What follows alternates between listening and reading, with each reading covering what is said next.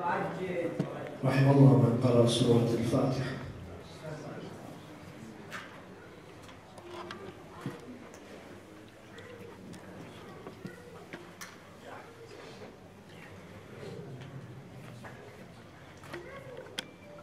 بسم الله الرحمن الرحيم عظم الله أجورنا وأجوركم بمصابنا بسيدنا ومولانا أبي الحسن الكاظم عليه السلام.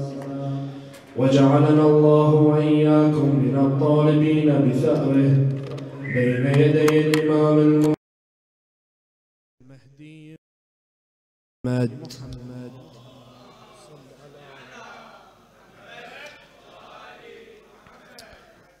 والحمد لله رب العالمين والصلاة والسلام على سيدنا وعظيمنا وحبيب قلوبنا وشفيع نفوسنا حبيب الله العالمين خاتم الأنبياء والمرسلين أبا القاسم محمد.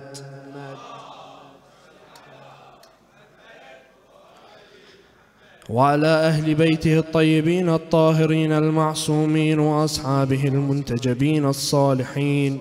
الحمد لله الذي جعلنا من المتمسكين بولاية سيدي ومولاي علي بن أبي طالب.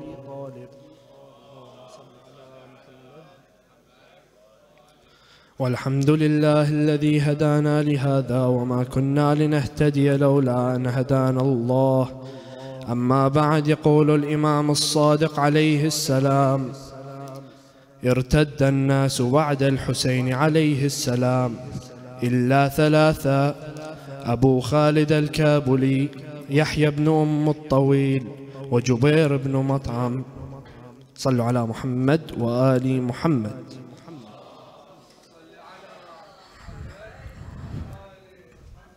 Our religion has come through blood, sweat, and righteous predecessors. Indeed, when we look at the companions of our infallibles, we have to go no further than looking at the likes of Ammar ibn Yasir, Miqdad, Abu Dhar, Salman.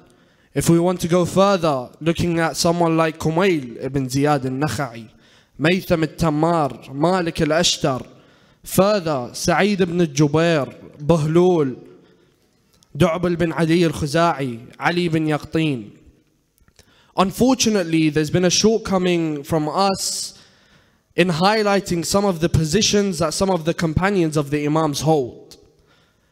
For example, someone like Yahya ibn Umm al-Tawil, who, as I mentioned in the beginning, Imam al-Sadiq says after the killing of Imam al-Hussein alayhi salam, he was one of three who could really classify themselves as Shia. One of three who truly followed Muhammad and Al Muhammad.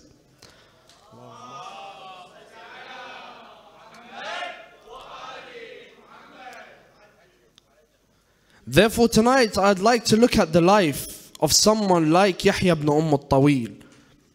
And I'd like to do so in three stages. Number one, who was Yahya ibn Umm al-Tawil and how politically active was he at a very young age? Number two, how is it that us, the Shia living today, owe the price of our tashayyu' to Yahya ibn Umm al-Tawil? And number three, what love did Yahya ibn Umm al-Tawil hold for Imam Ali ibn Abi Talib? Who was Yahya ibn Umm al-Tawil? Yahya ibn Umm al-Tawil was the half brother of Imam Zain al-Abidin alayhi salam. They breastfed from the same mother. Yahya ibn Umm al-Tawil was killed at a very young age. Why? Because of his love for Al Muhammad. Narrations state that Yahya ibn Umm al-Tawil at a very young age when Al Ziyad and Al Marwan were in power Yahya ibn Umm al-Tawil would be politically active against them even though they were the rulers of the time.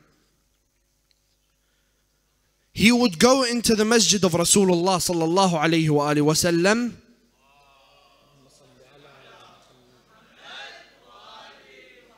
He would go into the masjid of Rasulullah and openly he would criticize Al Marwan and Al Ziyad, what would he say?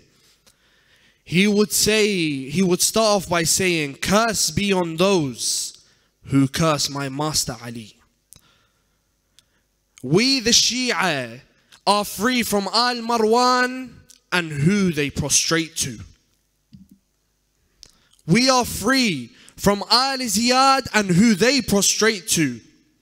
Anybody who curses Ali ibn Abi Talib, may Allah curse him even more. Very young age, teenager, early 20s.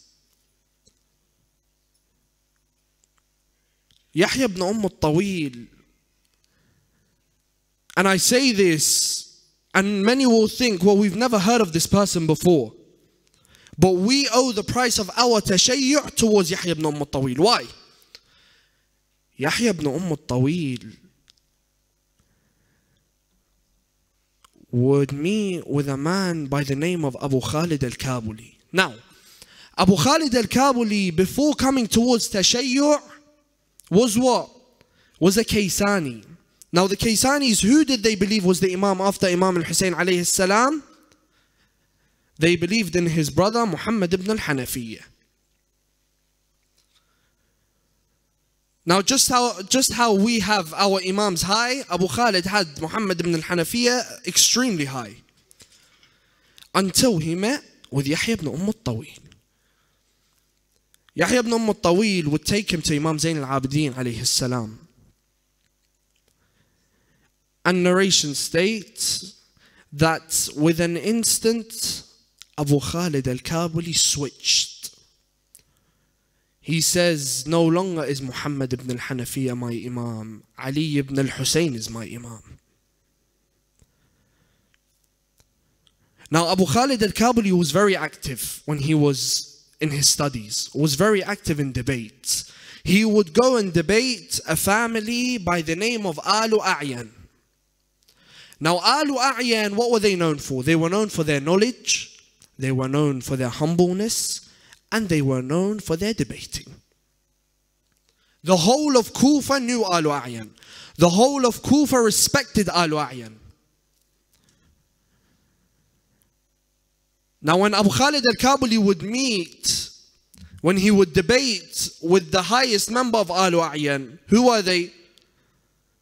She was none other than Umm al Aswad. Now, Umm al Aswad had three brothers. And inshallah, when I mention these three brothers, you'll know why. That the reason for our tashayyu' is Yahya ibn Umm al-Tawil. How it all stems back to him. When Umm al-Aswad had a debate with Abu Khalid al-Kabuli, she said, I can no longer follow what I'm following. As in, it all makes sense.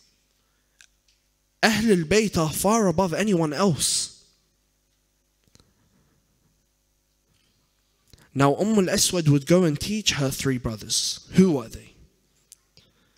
These are the gems of Shia Islam. Without them, most of the ahadith that we have in our books, Al-Kafi, Bahar al-Anwar, most of these ahadith we wouldn't even have. Who are they?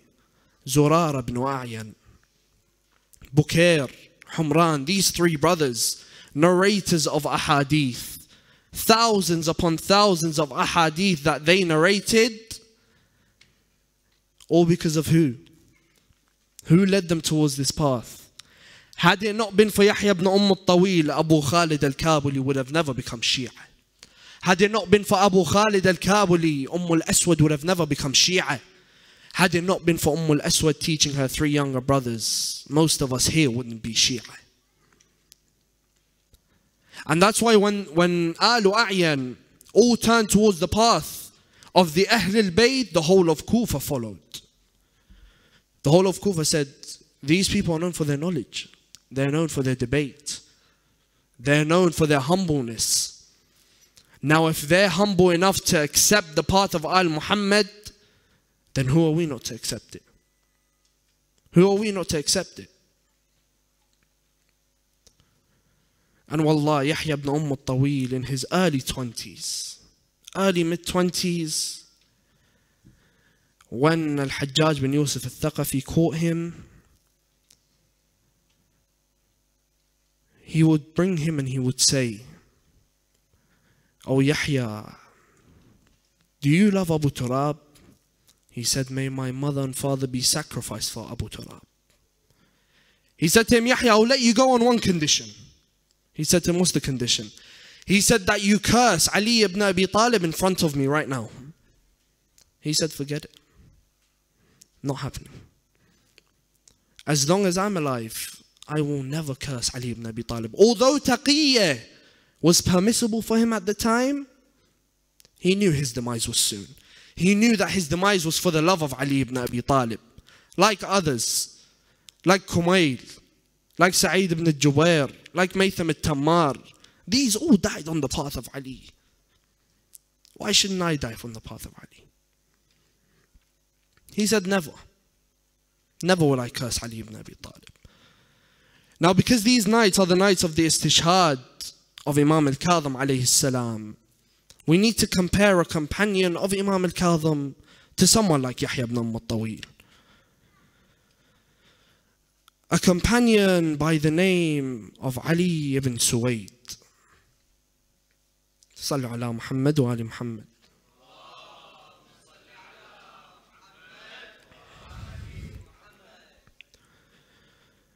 Ali ibn Suwaid comes to the cell of Imam al-Kadhim alayhi salam.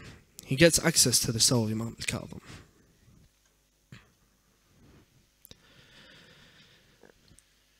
Ali ibn Suwaid narrates, I entered the cell of Imam Musa ibn Ja'far. When I entered the cell of Imam Musa ibn Ja'far, I said, Imam, you have been in Ghaiba for a very long time. Imam Musa ibn Ja'far was in Ghaiba for 14 years. He said, Imam, when are you coming out?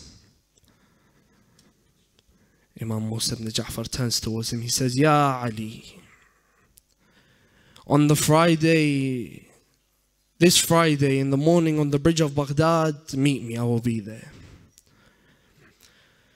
Ali ibn Suwaid narrates, I left with a smile on my face and I was happy and joyous. I went towards the Shia to give them the glad tidings of the arrival of their Imam. Soon after Ali ibn Suwaid left, the cursed god of Harun al-Rashid comes to the cell of Imam Musa ibn Ja'far. He has a plate of dates with him covered with the poison. He enters the cell of Imam Musa ibn Ja'far and he says to him, he says, O Musa ibn Ja'far, this is a plate of dates that Harun al-Rashid has specially prepared for you. Hold on. All these years, Imam Musa ibn Ja'far had been eating bread and drinking water. What's the sudden change with the dates?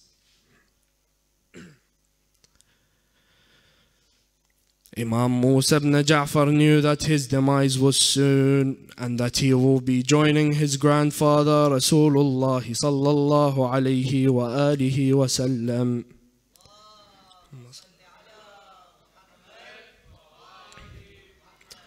When Imam Musa ibn Ja'far took a date and he placed it in his mouth, soon after Imam Musa ibn Ja'far fell ill and the poison started to cover his body. When the poison started to cover his body, he knew he was going to be joining Ahlul Bayt alayhim salam. Now when the Friday came, Ali ibn Suwaid says that I gathered the Shia in the morning. He says, I gathered the Shia in the morning hoping to see the Imam, knowing that we were going to see the Imam. Ali ibn Suwaid narrates, I took the Shia and I went to the bridge of Baghdad. When I went to the bridge of Baghdad, I heard a caller calling, There is a body that lies on the bridge of Baghdad, come and claim it. For there are no family members around it nor is there anyone protecting it. Ali bin Suwaid narrates, I wanted to see who this body was on the bridge of Baghdad. He says, I approached the body of Imam Musa ibn Ja'far And I saw him lying there with the poison covering his body. He had chains around his hand and legs. He said the Shia started to call, Wa imama, wa madluma, wa masmuma. But they couldn't do anything. Imam Musa ibn Ja'far lying there, lifeless. No one around him, no one to protect him. وإنا لله وإنا إليه راجعون وسيعلم الذين ظلموا آل محمد أي منقلب ينقلبوا والعاقبة للمتقين. رحم الله من قرأ سورة الفاتحة تسبقها الصلاة على محمد وآل محمد.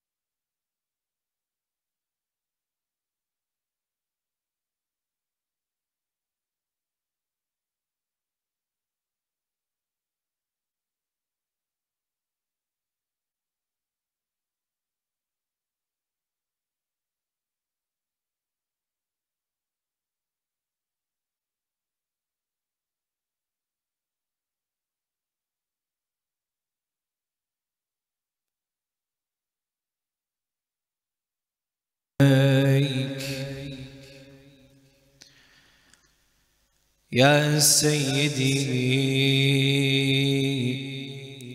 يا باب الحوائج.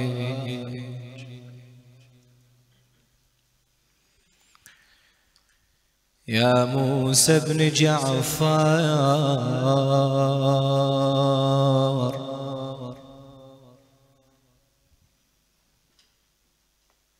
يا سيدي.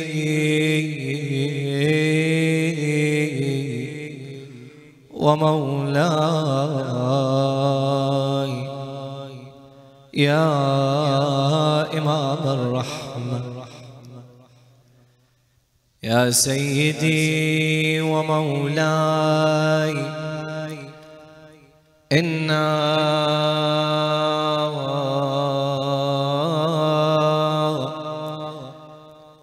توجهنا واستشفعنا. وتوسلنا بك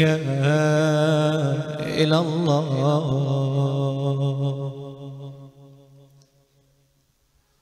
وقدمناك بين يدي حاجاتنا. جميعا إن شاء الله. With your voices to إمام الكاظم يا وجيها عند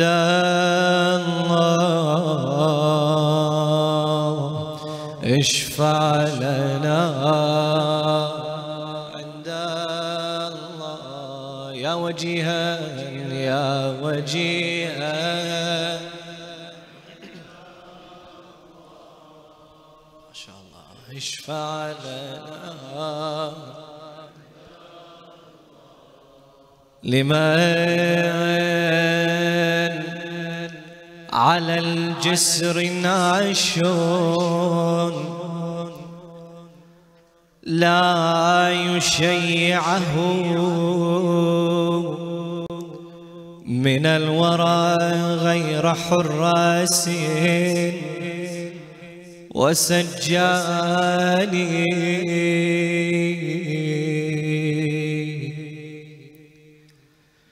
لمن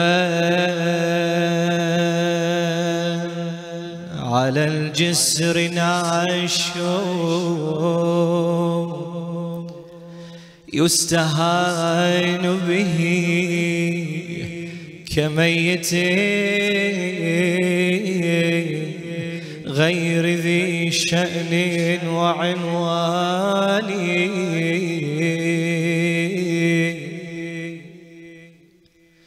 لمن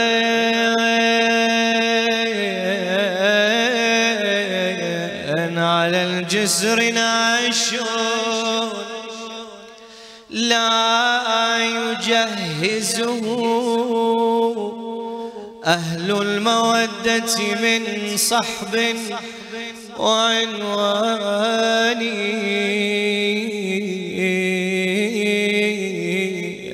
لمن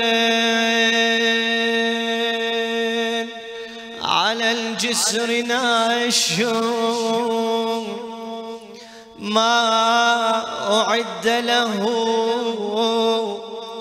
ضريح قبر ولم يدرج بأكفاني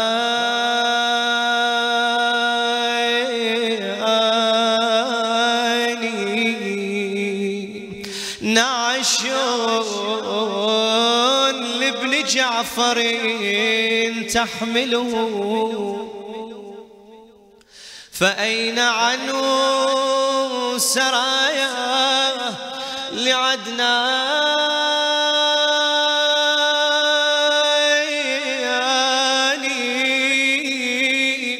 الغل في رجله والقيد في يده وبالعباءة لفوا خير جثمان.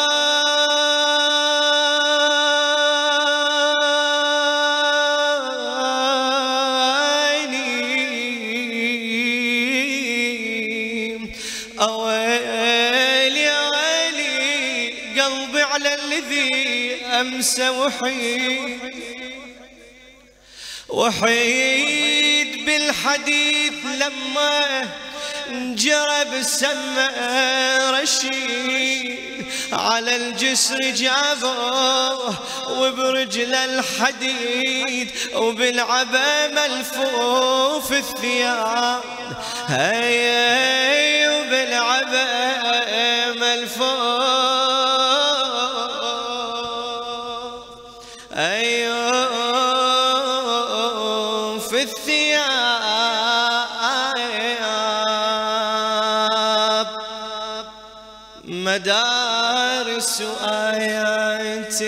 خلت من تلاوة.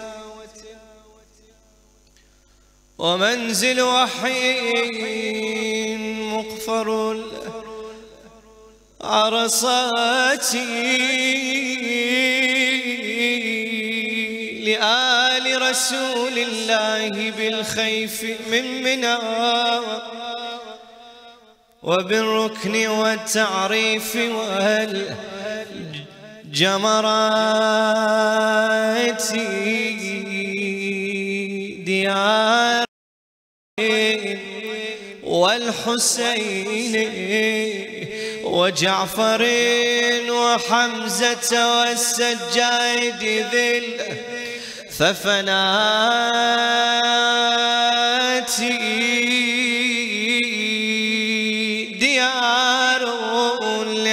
الله والفضل صنوي. نجي رسول الله في الخلوات. قفا نسأل الدار قفا نسأل الدار التي خف أهلها. متى عهدها بالصلوات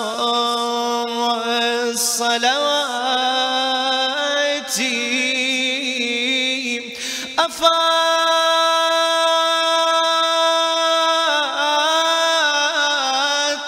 لو خلت الحسين مجدلا. وقد مات عطشانا بشط فراتي.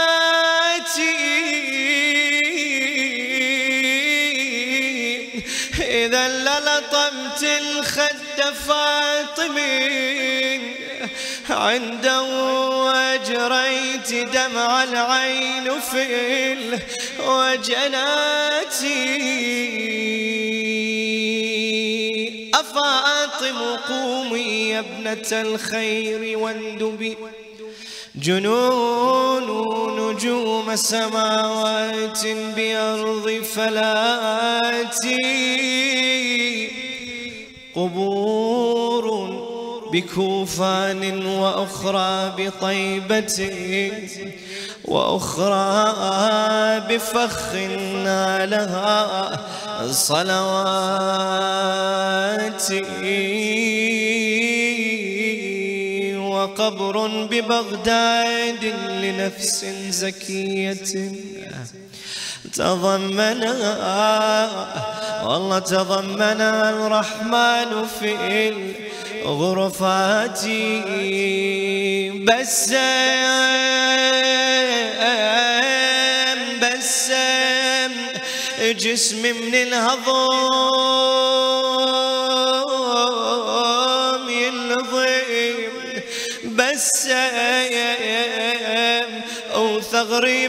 بالفرح ما يوم والله بس على الميت بحبس هارون بالسيم وجثته عالجسير ظلت رمية. هيا وجثته عالجسير ظلت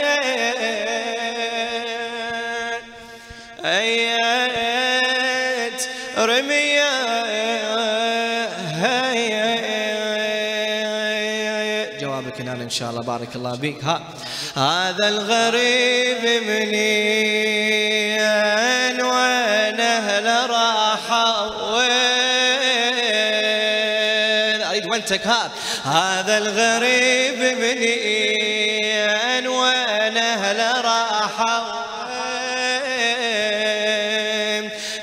بسجن مظلوم وبيا ذنب مسموم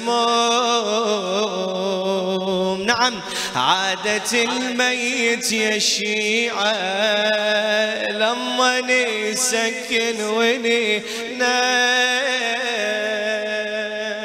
تحضر اولاده واخوته عن يساره وعن يمينه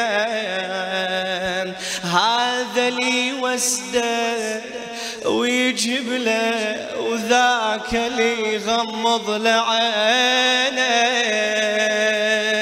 إحنا ما شاهدنا ميت بالحديد مقيدينا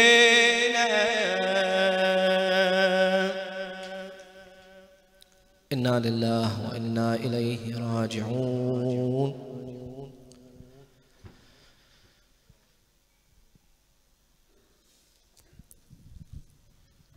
لما كثرت الوشايا بالإمام موسى الكاظم عليه السلام إلى هارون.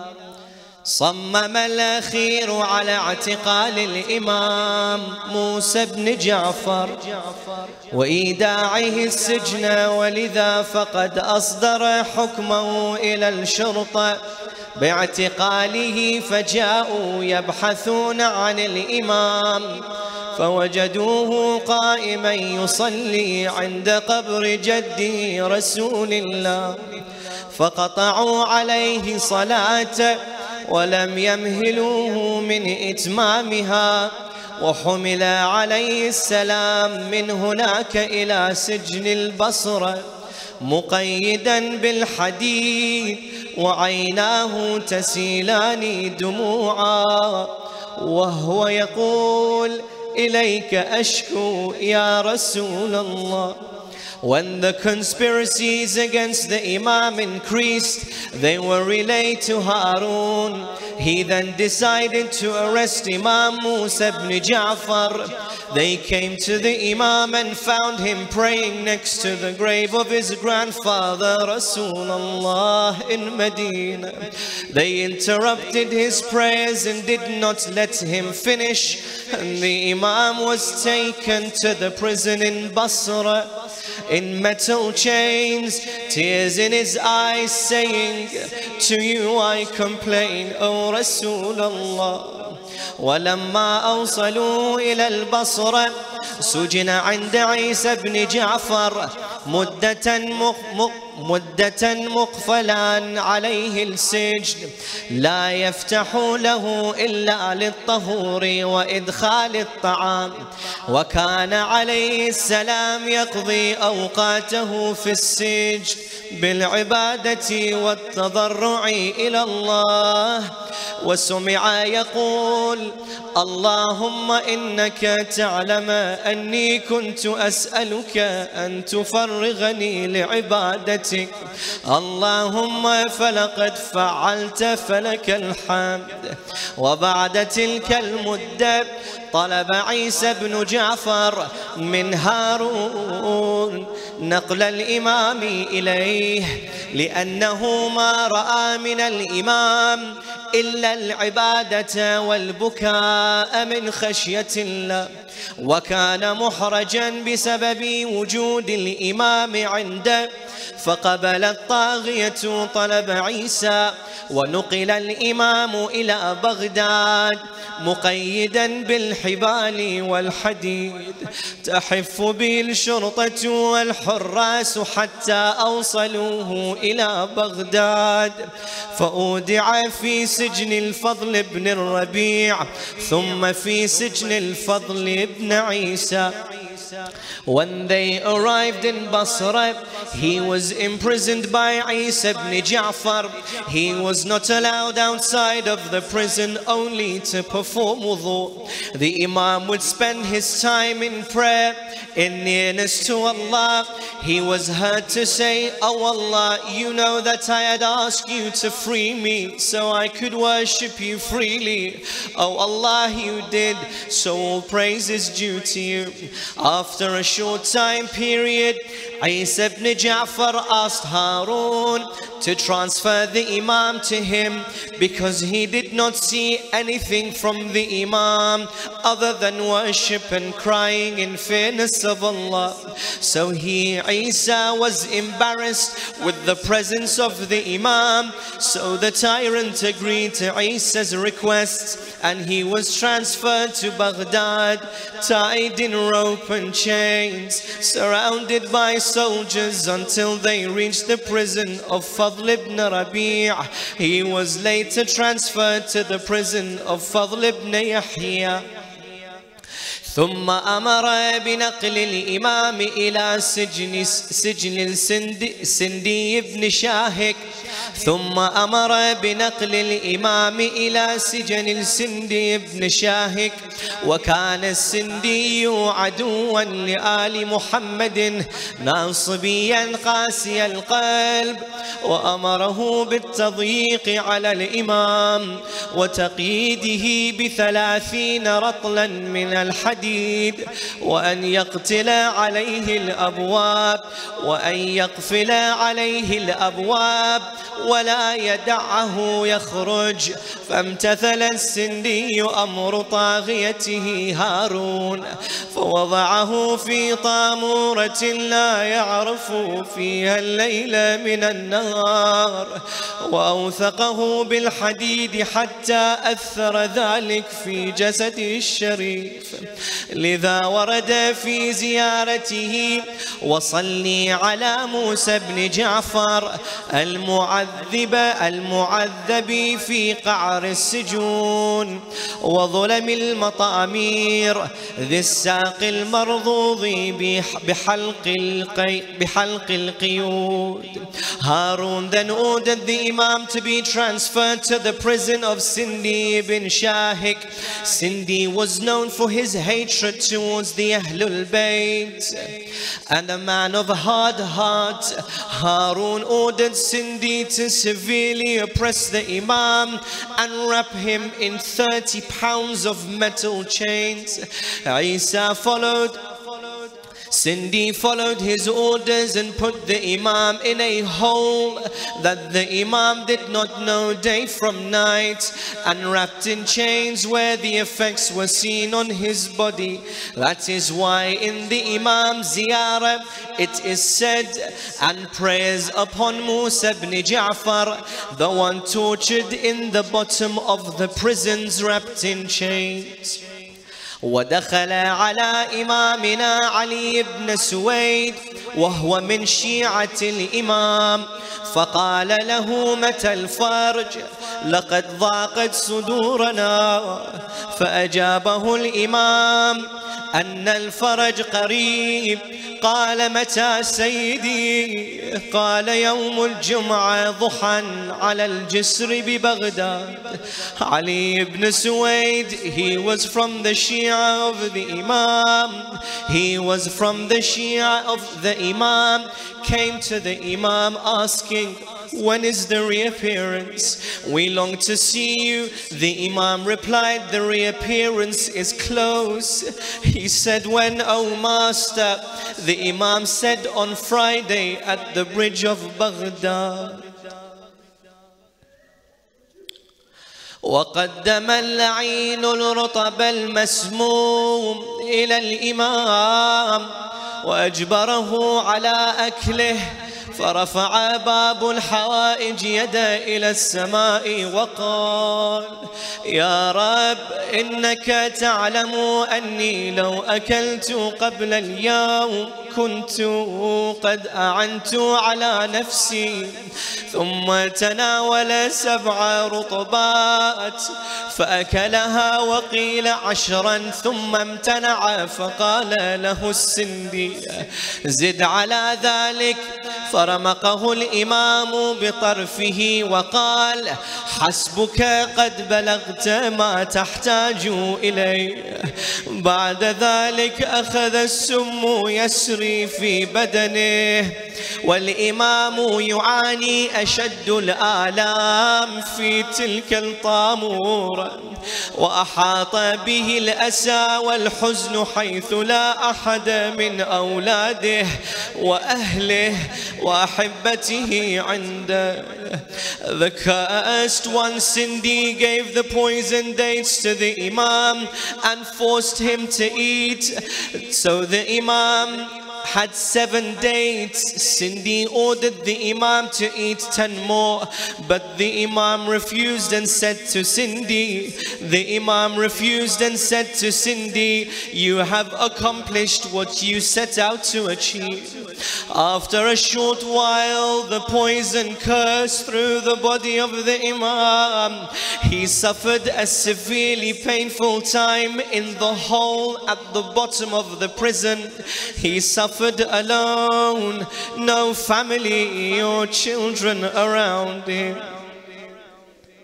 بقي الإمام على هذه الحال ثلاثة أيام وبينما هو يسمع وبينما هو يسمع أخشن الكلام وأغلطه من السندي بن شاهك وهو في تلك الحالة إذ أدخل عليه السندي سندي ثمانين رجلا من وجوه بغداد وأعيانها وقال لهم انظروا إلى هذا الرجل هل حدث فيه حدث؟ فقال الإمام لهم اشهدوا أني صحيح في الظاهر ولكني مسموم ولكني مسموم هاجركم الله يا شيعة يا موالين The Imam continued in this situation for three days, all the while hearing Cindy insult him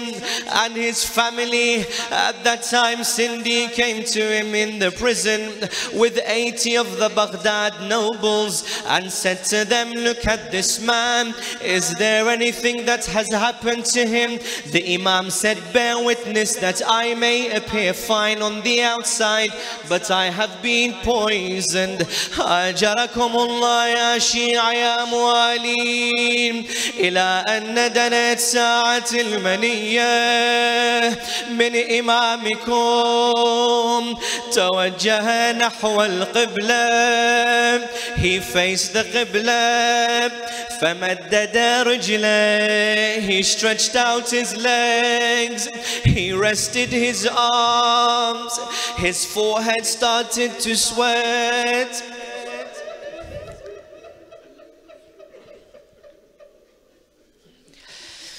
فمدد رجله وأسبل يديه وعرقت جبينه غمض عينيه سكن أنينه وفاضت روحه الطاهرة. أين من ينادي وإماما؟ أيوا السيدة أيوا مسمومة أيوا السيدة أيوا مظلومة. قال علي بن سويد جئت أنا وجمع كثير من الشيعة في ذلك اليوم في ذلك اليوم إلى جسر الرصافة وإذا بجنازة مطروحة والمنادي ينادي هذا إمام الرافضة قد مات حتف أنفه فانظروا إليه فجعل الناس يتفرسون في وجهه يقول علي بن سويد جئت لأنظر إليه وإذا به سيدي ومولاي.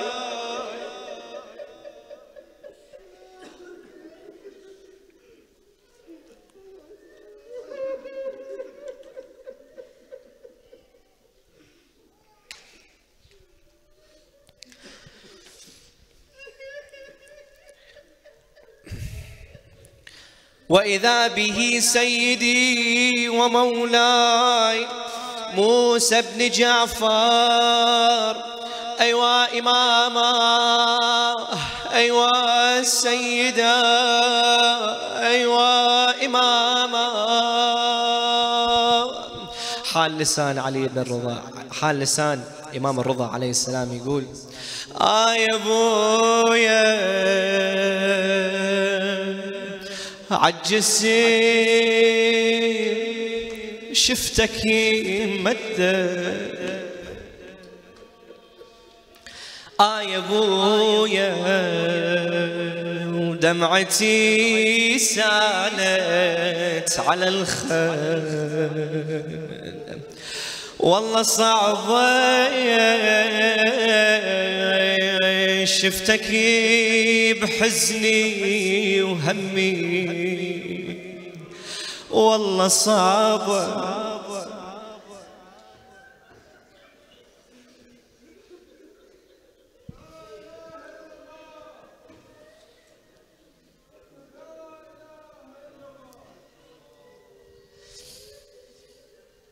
إي والله صعبة. شفتك بحزني وهمي. والله صعبة. حتى إيدك يا أبويا تدمي. والله صعبة. زيدت يا ابو يا حزني. من مغيبة يمتى ترجع بسلامة. من مغيبك يمكن الجمعة العلامة. يا الله. من مغيبك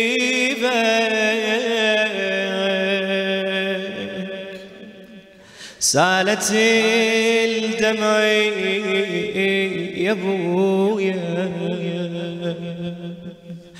من مغيبك سالت الدمع يا أبويا.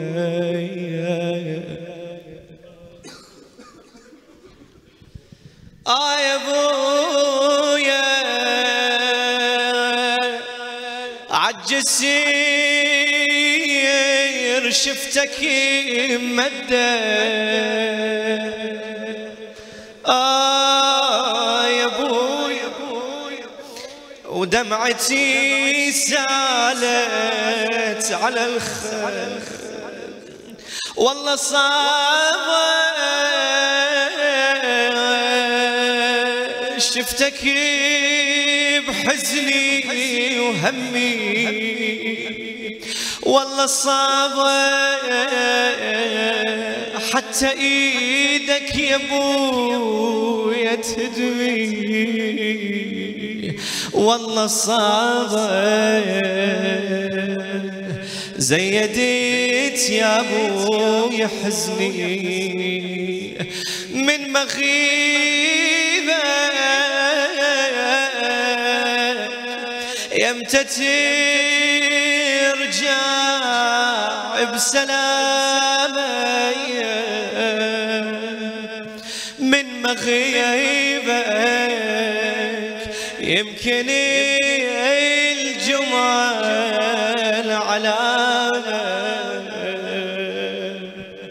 من مغيبك.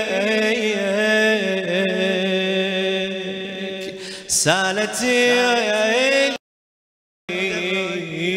ابو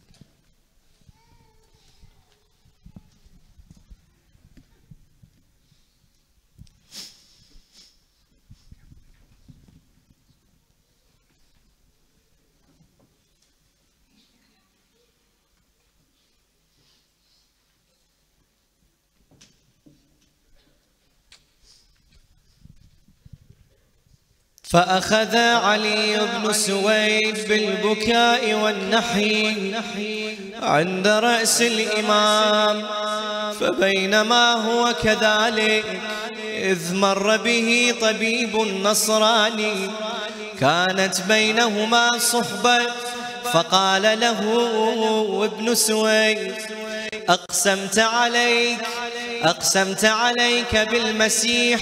إلا ما رأيت ما سبب موت هذا المسجى. قال اكشف لي عن باطنه قال اكشف لي عن باطن كفه. فكشف له عن باطن كف الإمام. فأخذ ينظر فيها وهو يهز رأسه. قال ابن سويد أخبرني ما رأيت. قال يا ابن سويد ألي هذا الرجل من عشيرة؟ قال بلى هذا موسى بن جعفر سيد بني هاشم. قال يا ابن سويد ابعث إلى أهله فليحذروا وليطلبوا بدمه. فإن الرجل مقتولا مسموما Ali ibn Suwaid and the followers of the Imam cried in horror and sadness at the head of the Imam in this state, a Christian doctor was present. Ali ibn Suwaid recognized him and as a friend and said to him, I ask you that you uncover the truth of what happened to this prisoner. He said, reveal to me the soles of his palms. Upon seeing the palms of the Imam, the Christian doctor shook his head. Ibn Suwaid said, tell me what happened. The doctor said, O son of Suwaid, does this man have a tribe. Yes, he, Musa, son of Ja'far, a member of the Bani Hashim. He said, O son of Suwaid, tell his tribe to prepare for compensation or avenging his blood. For this man has died from poisoning. Allah ya galub دمع عيني تفجر للي قضى بسجن الرجس قلبه تفطر. عمر الطاغي تشيل بن جعفر حمامي شالوا الجنازة ولا مشت خلف رياجيل. الله رياجيل لكن أقول لكن أقول تخف الأحزان. والله ما مات مثل حسين عطشان. عطشان ولا داست عليه الخيل. ولا انسبت له بالشام نسوان. هاي ولا انسبت له بالشام.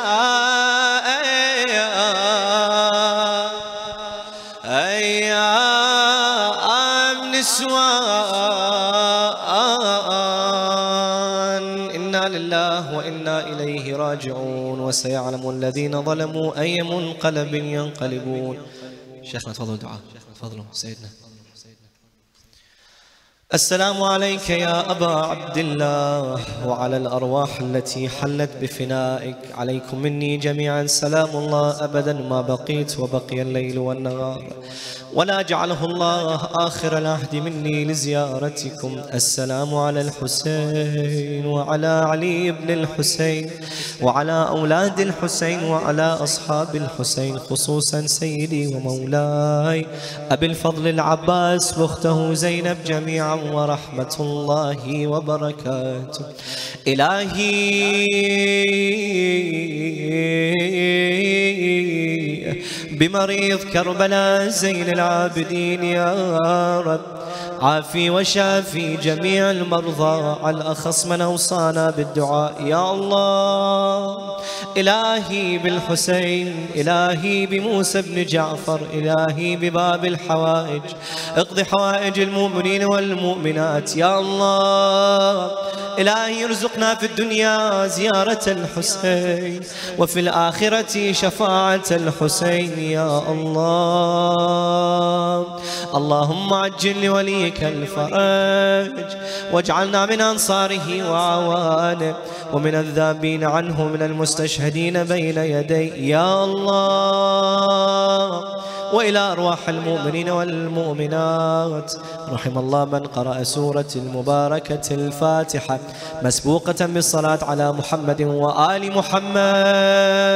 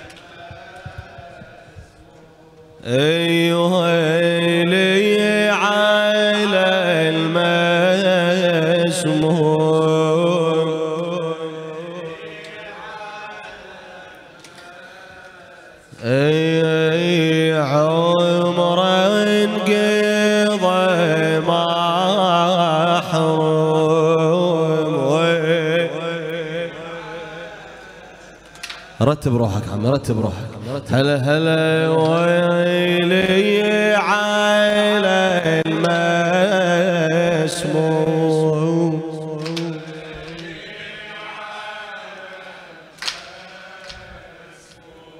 أي عمر انقضى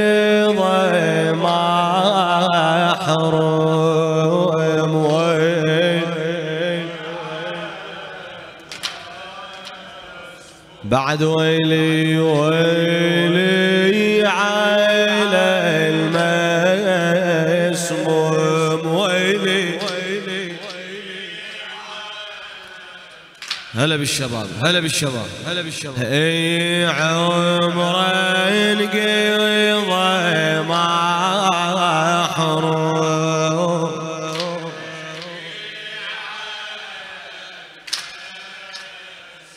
هلا هلا.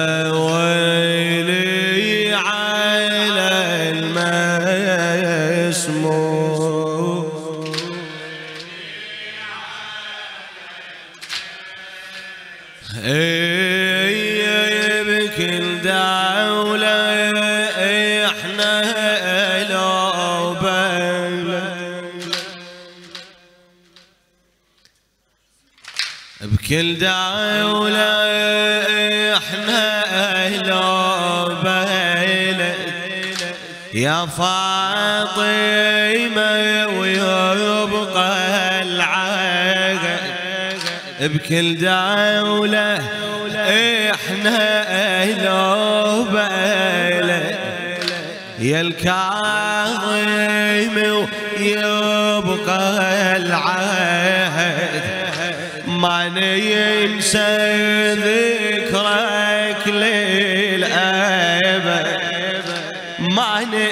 ننسى ذكرك للأبد ويلي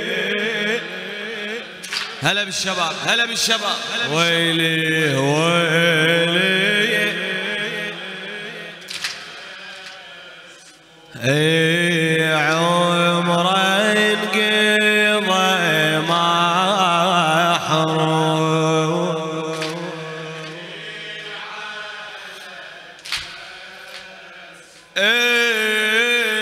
بكل دولة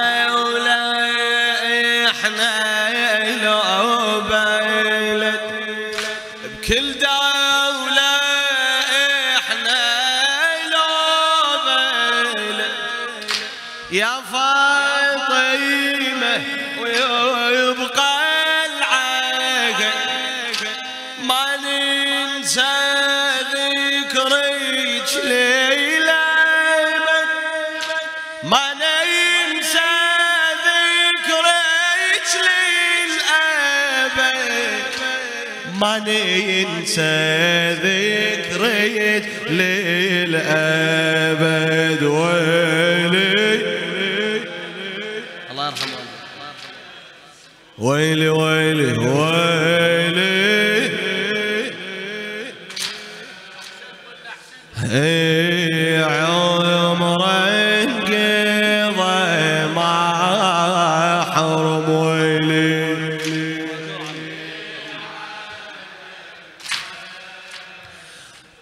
بلا كلام رحم الله ماجور مأجور.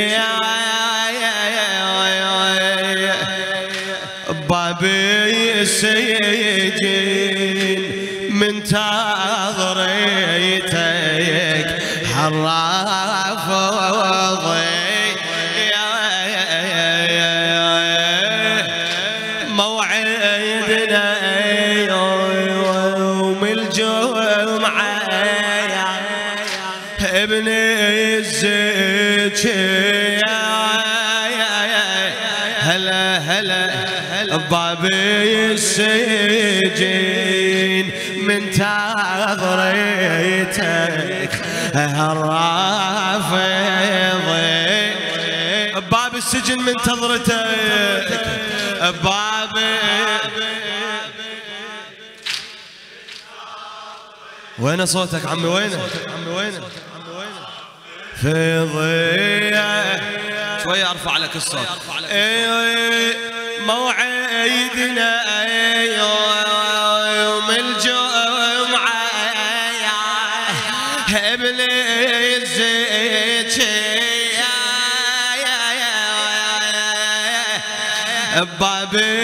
بابي السجين من تاضريتك هالرافع. سمعني.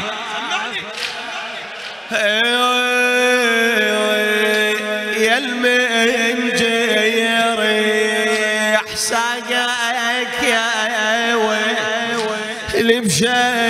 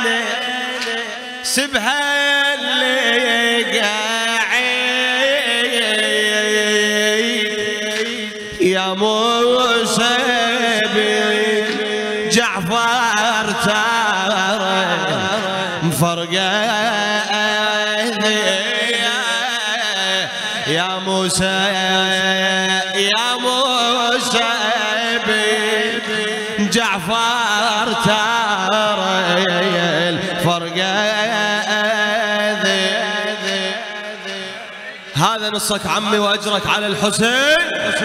إيه. يا المين جيرح ساقك يا ويلي بشدة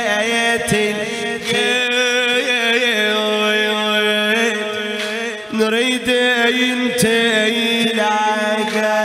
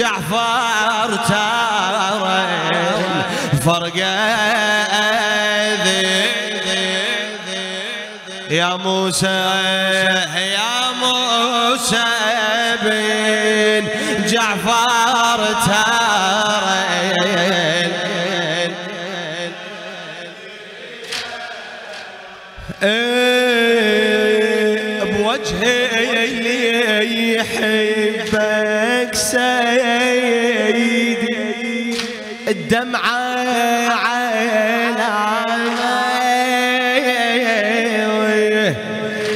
ندعي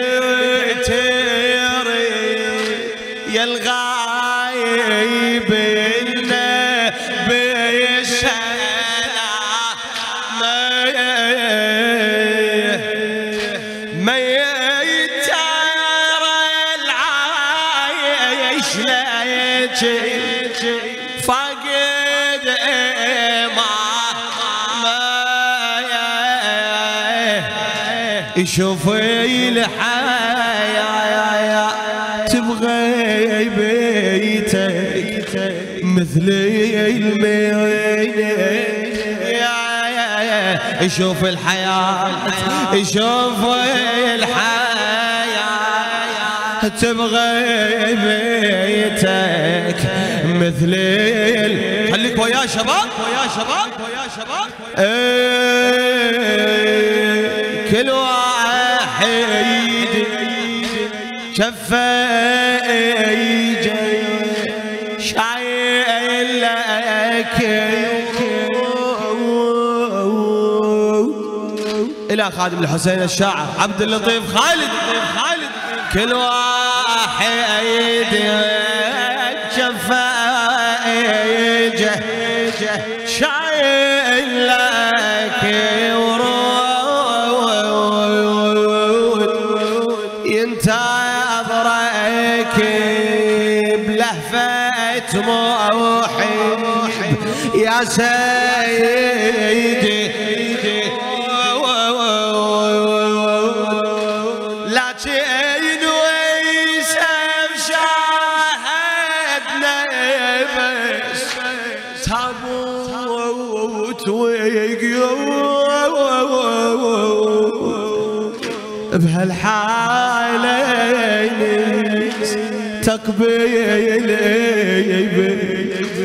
خير الباري يا يا يا. بهالحالة بهالحالة تقبل. هلا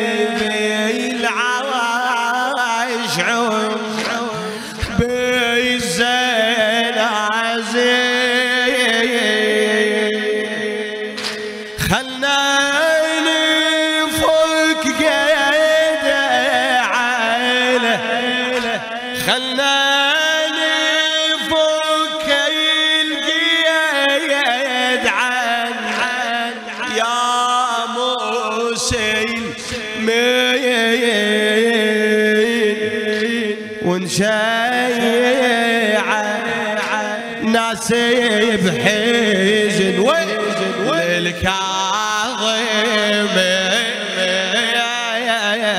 هلا ويا عيني زين فايزة. ندموع